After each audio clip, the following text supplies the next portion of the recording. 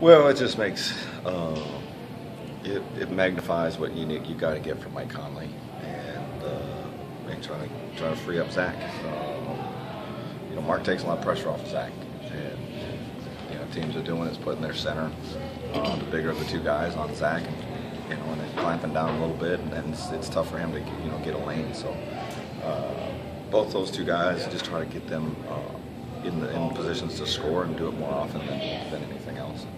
I know with both of those two guys, they'll get up a shot and it won't be a turnover. You know what I'm saying? I mean, those are the two guys we want to want taking the shots. We just we got to do a, a, better job of executing and get them in positions. And certainly, other teams know that you know those are our two you know main guys, and uh, you know they're scheming to, to, to, take things away from them as well. When you talk about executing like that, what, what can you do to uh, force uh, teams to avoid putting that bigger, longer defender on Zach? What can you do to, to really get the matchup you want for Zach, given the lack of production you may have in the offensive end? Yeah. Well, for one thing, once you, when you're matched up on defense with a guy, whether whatever position you're in, if you run really, really hard, they can't cross back. You know what I'm saying? So. We would get that situation where, where, where, with Denver where we would see OJ Mayo try to guard Carmelo Anthony. Well, why?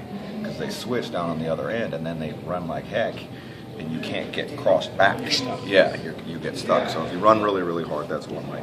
Another way you can do that is you can go big, big screenings, and, and we, we tried that. We didn't screen very well. We didn't force the switch back.